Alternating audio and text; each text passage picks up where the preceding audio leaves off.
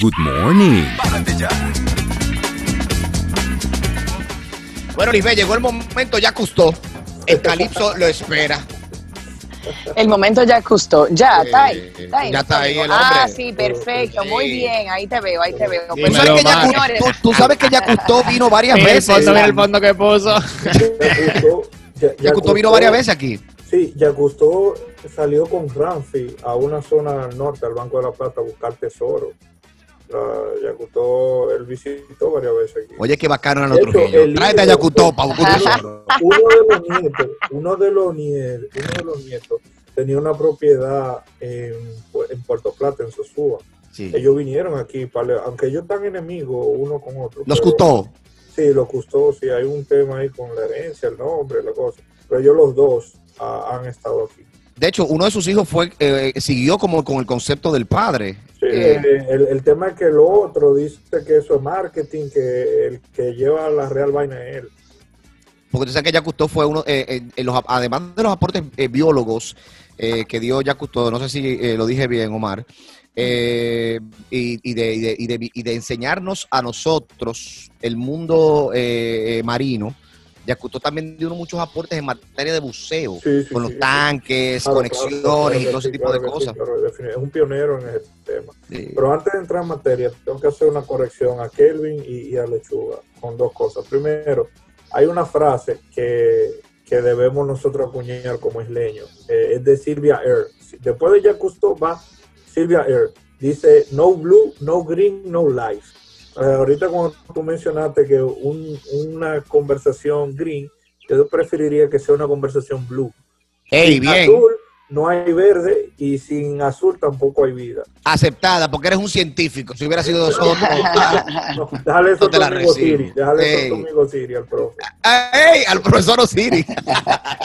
Yo no, no, Empezaron caliente ustedes. Omar, háblame la de las tortugas es- ninjas. Ah, perdón, la otra. No, y la otra es eh, a Kelvin. Si no le Oh. parece una proeza eh, de mil tortugas que nacen, solamente a, a, a Kelvin y a Starling, solamente una Oh. llega a la adultez. Perdón, perdón. De mil tortugas que nacen, solamente una llega a la adultez. Ey.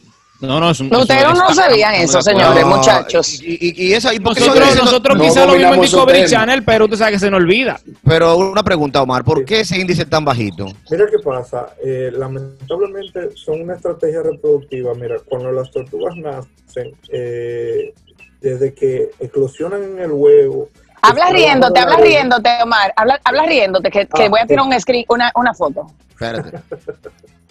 Mira, mira, Ahí desde está. que, desde, que- ya. desde que nacen en, en el huevo es una proeza. Entonces, desde que nacen, mira, las hormigas se la pueden comer, los lagartos, los cangrejos, luego los peces, las aves, las que nacen enfermas, las que se comen los pescadores.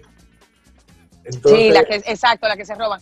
Y hay muchos huevos de eso. Ellas, ellas ponen hasta 100 huevos y a veces un poquito sí, más. Pero pueden haber, ajá, exactamente, pero pueden haber hasta 20, Omar, corrígeme si o no. Sí, sí, Eh, muchísimo, que son, que, que son huevitos de men- o sea, que no, sí, traen son nada. huevos infértiles. Exacto, huevos infértiles.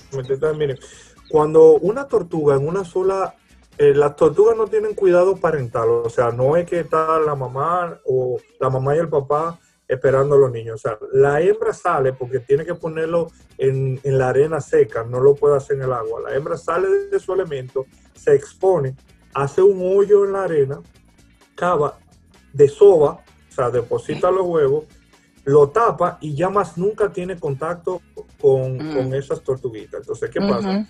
Luego del periodo de incubación, que puede ser 50 días o más, dependiendo qué tan caliente esté el sol, las tor- tortuguitas tienen que buscársela y, y Ujú. eh, entonces seguían por el sonido de, de las olas. Del mar. Exacto. Y el reflejo de los astros, el reflejo de los astros, cuando hablo de los astros, no de Walter Mercado, o sea, de, de la estrella, de, de la, la luna en el mar. Entonces, eso la guía y ellas se van al mar. ¿Qué pasa? En la realidad del mundo en que vivimos hoy, muchas de nuestras playas están antropizadas. Cuando hablo de antropizadas, es que tienen mucha actividad humana y las luces de los hoteles, de los bares, de la playa, la desorientan. Y es por eso que en el malecón, por decirle un ejemplo, en el malecón de Santo Domingo, muchas veces cuando ellas nacen se desorienta y se la comen los ratones, porque ellas buscan Ay. la luz del alumbrado eléctrico y se pierden muchos neonatos. Entonces, Oye, Omar, es duro ser tortuga. así Muy difícil. Así tortuga. Mismito. Entonces, eh, es, es definitivamente muy importante eh, poder ponerle un granito de arena a esas especies que están amenazadas o en peligro crítico de extinción. En República Dominicana tenemos cinco especies de tortugas, de las cuales solamente tres anidan.